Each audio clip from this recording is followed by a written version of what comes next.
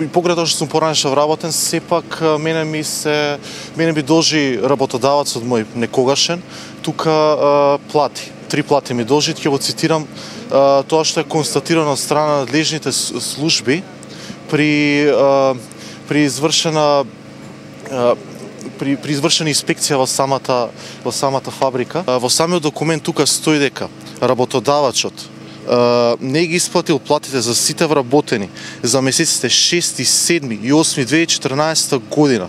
Поради што се донесе, реш... донесе решение, пардон, согласно член 258 од ЗРО да се острани констатираната неправилност во ставениот рок. На крај, за понатамошна заштита на вашите права со оглед дека се работи за парично побарување, може да се обратите со тужба до надлежниот суд.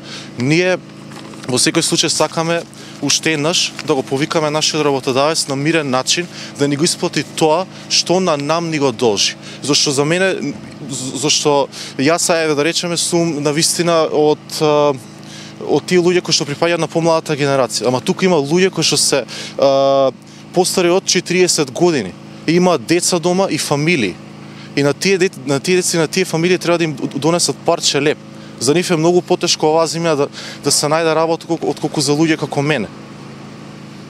Затоа го повикувам уште еднаш мирно нашиот работодавец, мој поранеш работодавец, да ни ги исплати сите тие плати кои што ни ги должи на зашто ние си го бараме само она што е наше. Ние не бараме нешто повеќе од тоа. Ние само тоа си го бараме.